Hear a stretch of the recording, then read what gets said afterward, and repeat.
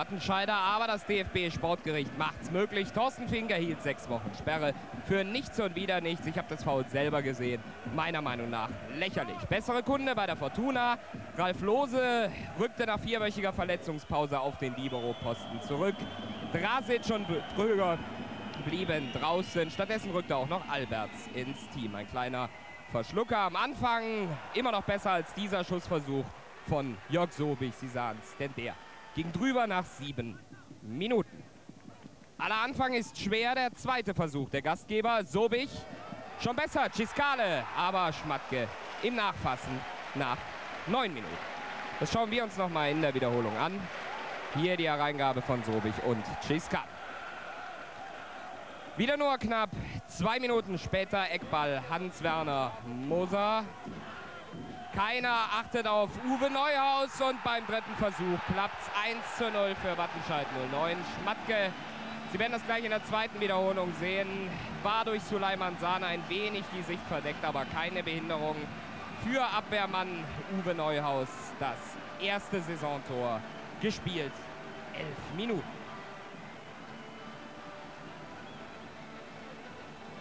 Hier sehen Sie es, Suleiman Sahne steht vor Schmatke und der reagiert zu spät.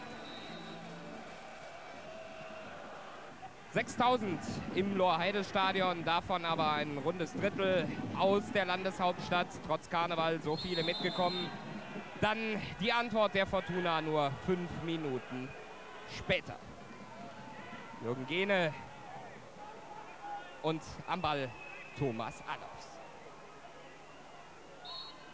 Er versucht es direkt und der passt. Wunderschön, knallhart geschossen. 1 zu 1, der fünfte Saisontreffer von Alofs. Gleich zweimal zum Genießen in aller Ausführlichkeit. Und Wilfried Mohren würde an dieser Stelle sagen, die Zeitlupen hier in Extense.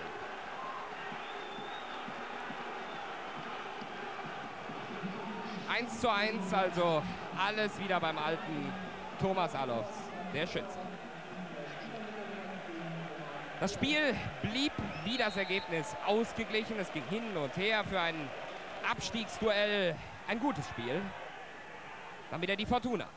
Alofs. Ralf Lose. Schön sieht er Uwe Rahn, aber der vergibt. Zweimal hat er schon getroffen, aber nur zu Hause. Zwischenzeitlich erregte dann diese Szene die Gemüter. Hand von Eigner, aber außerhalb des Strafraums. Korrekte Entscheidung von Amarell. Er gab nur Freistoß. Hannes Bongartz hatte zum Rostock-Spiel zweimal umgebaut. Ein Wechsel zu Leimann Sahne. Sie sahen ihn eben und hier dieser Schussversuch von Hans-Werner Moser. Schmatke unsicher. Solche Unsicherheiten prägten das Spiel in der ersten Hälfte. Aber es blieb abwechslungsreich. Auf der Gegenseite. Alofs sein Schuss und ein knapper Meter fehlt zum sechsten Saisontor. Dann wieder Wattenscheid 09. Markus Schupp. Vorbei am ersten. Vorbei am Büstens.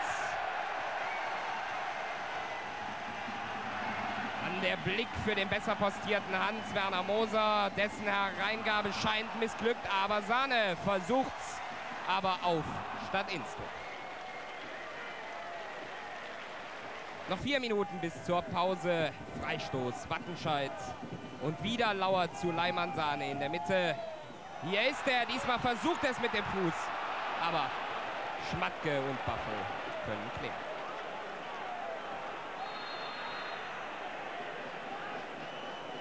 Ich sagte es, es ging hin und her im Lorheide-Stadion. Jetzt wieder die Fortuna am Druck.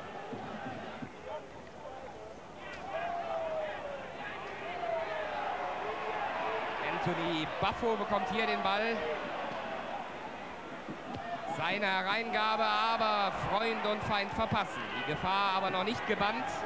Neuaufbau der Fortuna. Der Ball gleich bei Jörg Alberts. Hier seine Hereingabe und Rahn verpasst. Es blieb am 1:1 zur Pause und Kai Ebel sprach in der Halbzeit mit Horst Köppel. Mal Hand aufs Herz, nach dem 1 zu 0, haben Sie da schon mal mit dem Gedanken gespielt, ob es vielleicht doch einen Weg zurück auf die Bank gibt demnächst? Nein, auf keinen Fall. Egal wie das Spiel ausgeht, auf keinen Fall. Das heißt, Sie bleiben in jedem Fall in der Position, in der Sie jetzt sind? Auf jeden Fall. Nun nennen die erste Viertelstunde des zweiten Durchganges zerfahren und zusätzliche Aufregung durch einige verwirrende Entscheidungen des Linienrichters, aber dann Jörg Sobel. Stark spielte er heute auf der linken Seite. Schmatke verpasst, aber Sahne zum Glück auch überrascht. Und die Reaktion von Hannes Bongens. Nach 65 Minuten wechselte dann Fortuna, Fortuna, so heißt Trainer Jürgen Gede aus. Sie sehen das gleich. Für Alberts, einem Offensiven, kam Martin Spanring, ein defensiver Mann. Sie kennen das mit dem glücklichen Händchen eines Trainers. Soeben erlebten Sie die unglückliche des Jürgen Gede. Hier Spanring, sein erster Ballkontakt, er verliert den Ball und 2 zu 1 Ciscale, der Torschütze. 65 Minuten gespielt, ja Martin Spanring, er hätte sich wohl am liebsten verbuddelt, nicht Uwe Ciscale, denn dem gelingt hier sein viertes Saisontor. Sie sehen es hier gleich durch die Beine von Jörg Schmack. Jetzt ging es Schlag auf Schlag. Zu Leimann Sahne bekommt jetzt gleich den Ball. Hier. Und statt es alleine zu machen, sieht er den besser postierten Uwe Ciscale das 3 zu 1. Und Ciscale weiß, bei wem er sich zu bedanken hat. Bei Vorbereiter Suleiman Sahne. Das Ganze nur drei Minuten nach dem 2 zu 1. Saisontor Nummer 5 für Ciscale. Armer Jörg Schmatke, wieder rutscht der Ball durch die Beine. Und weiter ging es mit Wattenscheid und Höflichkeit ist Druck. Hilfst du mir, so helfe ich dir, dachte sich Ciscale hier. Sieht zu Leimann Sahne und das 4 zu 1. Das siebte Saisontor für den Senegalesen. Eben noch Vorbereiter jetzt selbst der Torschütze. Drei Tore innerhalb von fünf Minuten. Das bricht jeder Mannschaft das Genick. Natürlich versuchte die Fortuna sich aufzubäumen, aber es ist schwer, 1 zu 4 der Spielstand. Da hatte man so gute Erinnerungen. 4 zu 3 hieß es am 30. August. Es war der erste Sieg überhaupt in dieser Saison für die Fortuna. Hier der schöne Schuss von Büskens, aber Übung. Das Spiel plätscherte dann dahin in den letzten 15 Minuten. Die Fortuna hatte in der ersten Halbzeit sehr gut mitgehalten, auch die Chance gesucht, nach vorne gespielt auf des Gegners Platz, aber es sollte nicht lang, es blieb beim 4 zu 1 für die SG 09, die sich damit Luft im Abstiegskampf verschafft. Den Düsseldorfern und Trainer Jürgen Gede hingegen durfte der Spaß am Karneval vergangen sein. Kai Ebel wollte zumindest Stimmen sammeln. Martin Spannring, ganz kurz, zwei Fragen.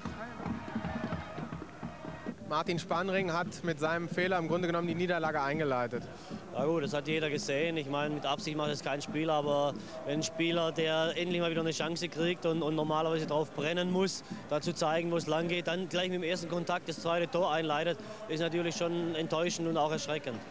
Haben Sie Ihre Meinung gegenüber der Halbzeit denn jetzt schon geändert, was die Trainerbank angeht? Nein, auf keinen Fall. Ich sag, ich habe das gerade zum Kollegen gesagt, wir werden sicherlich zusammensitzen müssen, Präsidium, Trainer und, und ich als Manager. Aber äh, was wir tun, kann ich im Moment nicht sagen.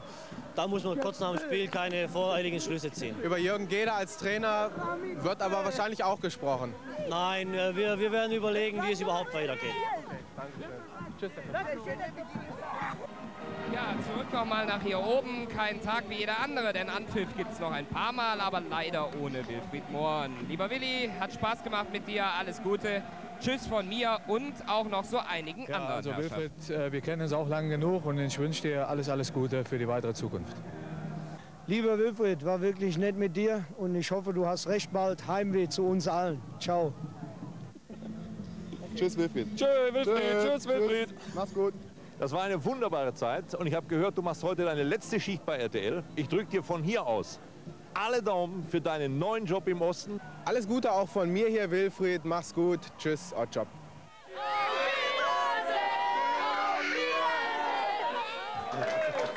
Ja. Ja,